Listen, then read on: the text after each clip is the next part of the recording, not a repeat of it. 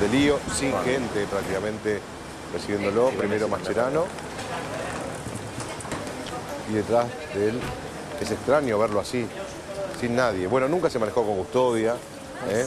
Tendrá algún muchacho ahí, Vas a volver a la selección argentina. conocido, Leo? amigo.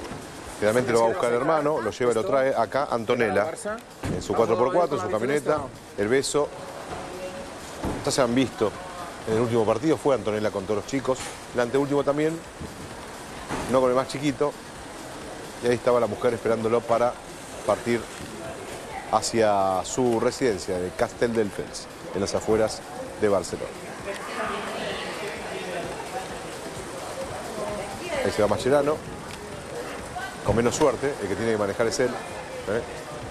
Por supuesto está la mujer ahí al lado. Dos de los emblemas de la selección.